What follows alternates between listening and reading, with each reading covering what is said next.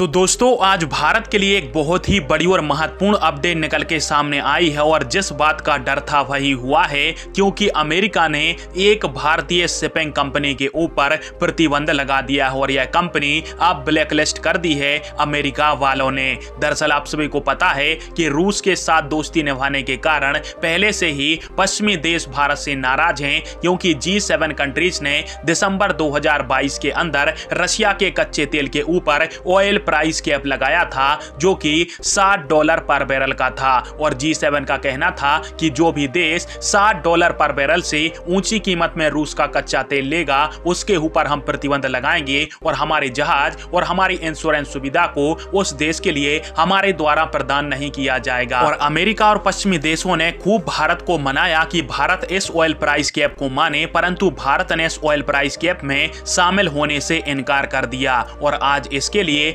पश्चिमी देशों की तरफ़ से भारत की एक कंपनी पर प्रतिबंध लगा दिए गए हैं। दरअसल मुंबई बेस एक कंपनी है, जिसका नाम है गतेक शिप मैनेजमेंट और यह रशिया से भारी भरकम मात्रा में कच्चे तेल की सप्लाई किया करती थी। और आज यह कंपनी अमेरिका के प्रतिबंधों की नज़र में चढ़ गई। और ब्लूमबर्ग की रिपोर्ट के हिसाब से अब यह खबर आई है कि भारत की इस कंपनी के ऊपर अमेरिका ने प्रतिबंध लगा दिया है। और स्क्रीन के ऊपर आप सभी आर्टिकल भी देख सकते हो, जिसमें यह जानकारी दी गई है कि प्रतिबंधों के दायरे में आने के कारण इस कंपनी ने अपना पी एंड आई जो इंश्योरेंस था, उसको खो दिया है। जिसके कारण से इस कंपनी के टैंकर यदि क्षतिग्रस्त हो जाते हैं या फिर उन टैंकरों से तेल का रिसाव होता है तो इसका इंश्योरेंस अब अमेरिका और पश्चिमी देश वाले नहीं करेंगे। और अमेरिका ने बताया कि यह कंपनी भारी भरकम मात्रा में रूसी तेल को ढोती थी, जो कि 60 डॉलर पर बैरल से ज़्यादा की कीमत में खरीदा जाता था। और इस साल करीब 48 टैंकरों को हमने नामित किया था, जिसमें से चौंतीस टैंकर हमारे द्वारा इंश्योर किए गए थे,